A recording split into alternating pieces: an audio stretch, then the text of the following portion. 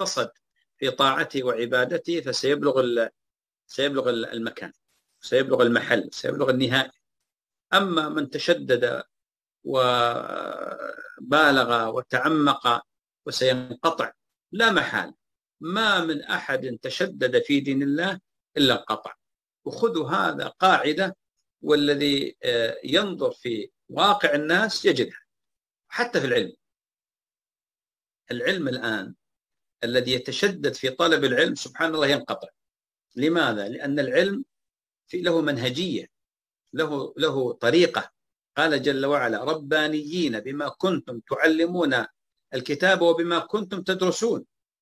فالرباني هو الذي يعلم الناس صغار العلم قبل كباره اقتداء بالرب في تيسير الأمور كما قال ابن عباس وقتاده وجمع من أهل العلم. منهجية. ولذلك العلم من رامه جملة ذهب عنه جملة. يعني بعض الناس الآن يريد أن يحوز العلم مرة واحدة. هذا سيمل وينقطع ثم ينصرف سبحان الله العظيم.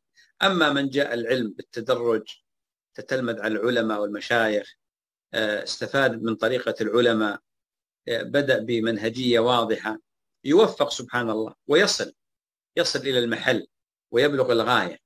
في العبادات مثل ما ذكرنا قبل قليل. بعض الناس الآن تأتيه حالة صفائية ويشوف نفسه قادر والله إنه يقوم الليل كله.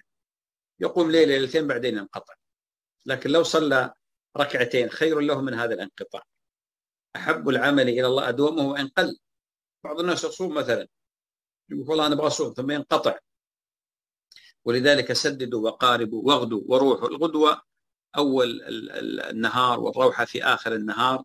والمقصود بأن الإنسان مثل المسافر مثل المسافر يمشي آه، لما يسافر يقطع مسافة فإذا وجد آه، قطع المسافة التي يحتملها تحتملها دوابه وأيضا يطيقها.